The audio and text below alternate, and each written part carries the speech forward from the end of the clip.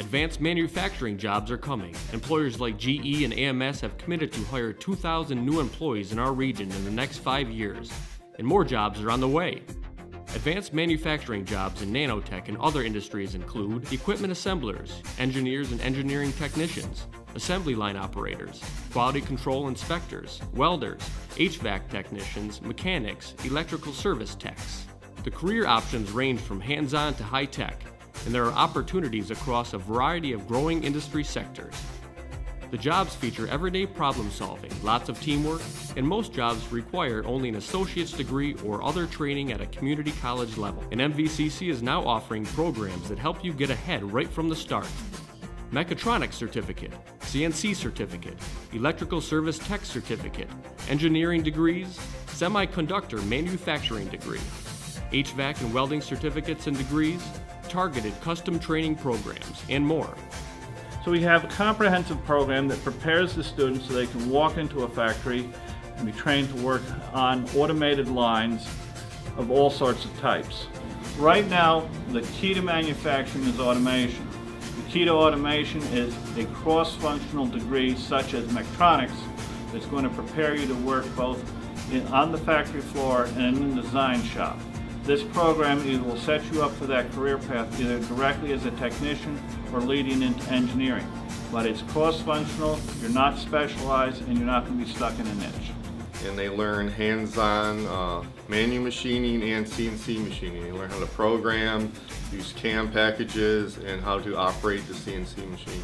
There is a lot of CNC in the area. There's a lot of, lot of job opportunities in this. Most of our students that come through, if they complete the certificate program and do good in it, there's job for them. I think for a lot of the support industry for uh, the Nano is where the CNC students are going to come in. Building machines, repairing machines, fixing machines. And eventually, I mean, they're learning manufacturing. They could also transition to the nano industry too um, in the future. Overall, all the courses seem to be paralleling each other. In each course, we learn something that we use in another course, and that's interesting. I think it's fantastic that we're able to uh, do hands-on and actually program the PLCs and see test models that demonstrate how the PLCs work so we can see it in real time rather than just learning it from a textbook. What makes MVCC special is that our programs are developed in direct partnership with local industry. One of the advantages of this program over other schools, if you look at this, this is new equipment, it's state of the art.